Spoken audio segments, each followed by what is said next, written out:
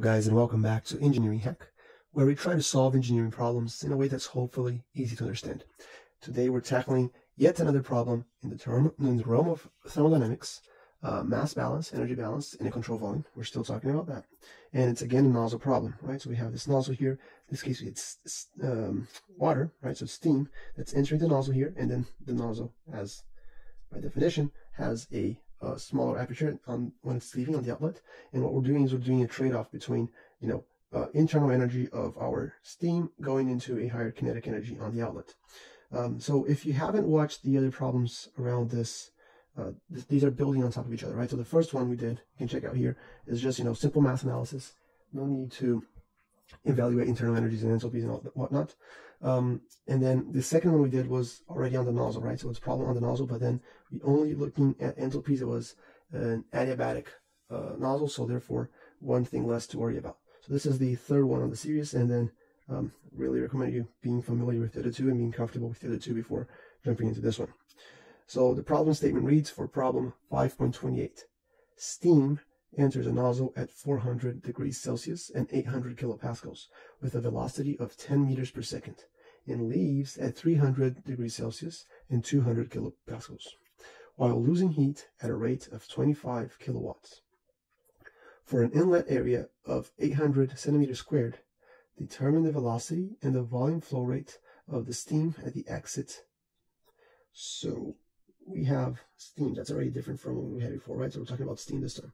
So no ideal gas, no um, uh, no way to use C sub P, C sub V's. We need to focus on steam tables, right? Um, what else? We are entering at 10 meters per second with a set of properties that are 800 kilopascals and 400 degrees Celsius. Right, and we're leaving this nozzle at what are the properties? 300 degrees Celsius and 200 kilopascals. So again, note that we're the steam that's entering this nozzle has a higher internal energy. The molecules have more energy than the ones that are leaving. Okay. Um, what else? We know the area now. This time we know the area. So the area, cross sectional area. So this guy here, right? This area here is 800 centimeters squared. You can foresee us needing to convert this into meters squared very soon.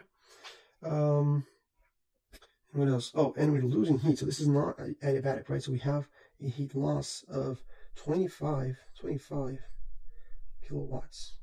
And this is super relevant. Okay. So what are we looking for? We're looking for the velocity here at the exit. And also the volumetric flow rate. So the rate meters cubed per, actually this is a good idea. Let's just write down. Looking for an answer in meters per second and an answer in meters cubed per second. Okay, beautiful. What I'm going to do is I'm going to simplify this diagram by just drawing a box. Okay, this is my new nozzle. It's just a box. In the, this box, I'm going to put everything that's entering, all the mass that's entering and leaving, and all the energy that's entering and leaving. Okay, so I have my mass, and by the way, I'm going to call this state 1, I'm going to call this state 2, and I'm going to call this just Q. All right, so what we have here is we have mass flow rate 1 going into the box, and then we have mass flow rate leaving the box 2. Right? In terms of energy, I have the enthalpy 1 entering the box, and I have enthalpy 2 leaving the box, but I also have Q leaving the box. Okay? And then note that this box is, you know, my control volume. So what I'm interested in is, you know, what's happening within this control volume. Um, and the two things that are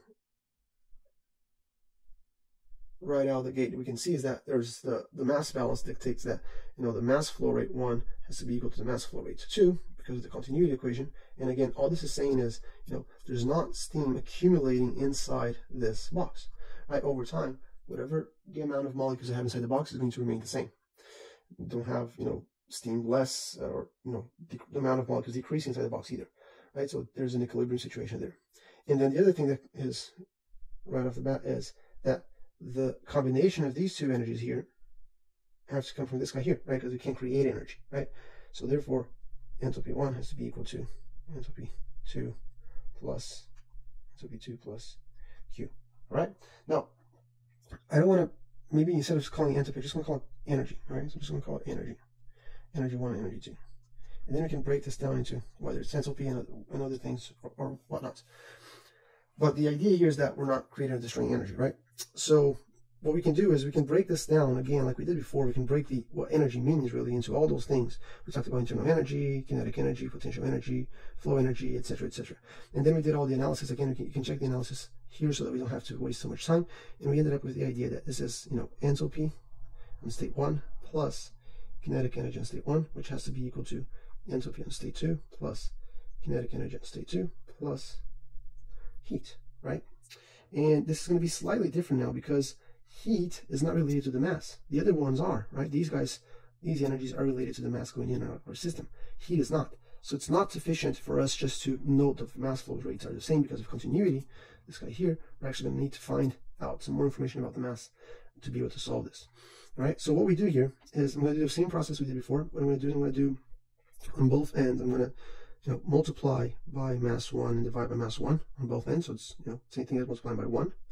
Um, except that when I divide this by mass 1, I have the equivalent of our lowercase 1. It's just kilojoules per kilogram. And when I divide this guy here, if you recall, this is mass 1, velocity 1 squared divided by 2. And divide by mass, I'm just going to end up with this. Right? So, in other words, just putting the mass in evidence. And then, same thing on the right-hand side. If I put the mass in evidence, I'm going to end up with lowercase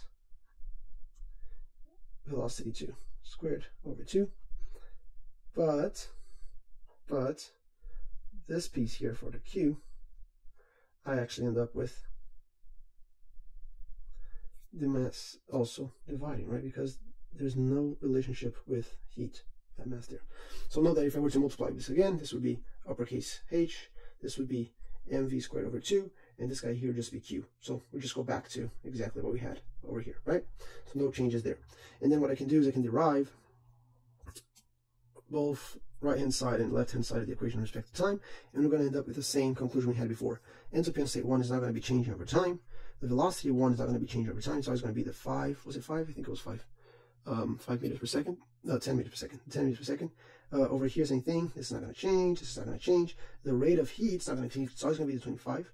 What does change is actually the mass, because we don't have a constant mass, we have a mass flow rate, right? So what this ends up, what ends up happening is that we have, let's do this, let's copy this guy here.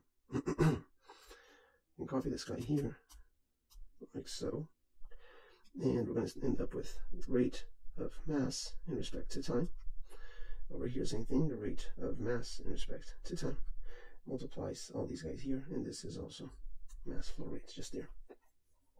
All right, so when this happens, then our equation looks a bit more complicated, but somewhat simplified, because this is, you know, if we choose to use the, the simpler version is going to be M1, and over here we have M2.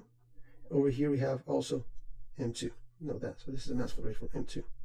Okay, and then um, what we can do now is, again, M1 and M2 are the same. They have to be the same.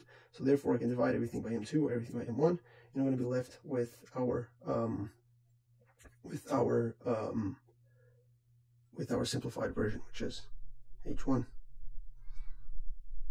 v1 squared over 2 over here h2 v2 squared here.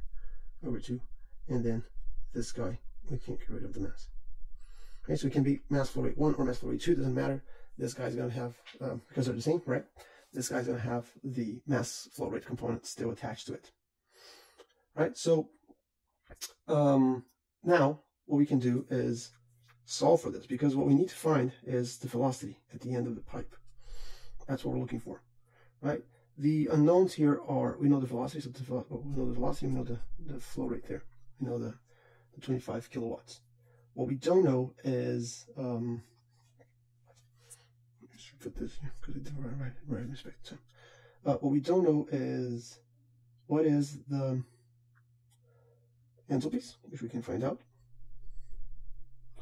what is the mass flow rate, which we need to find out somehow. And then when we do that, we can finish off and find the velocity.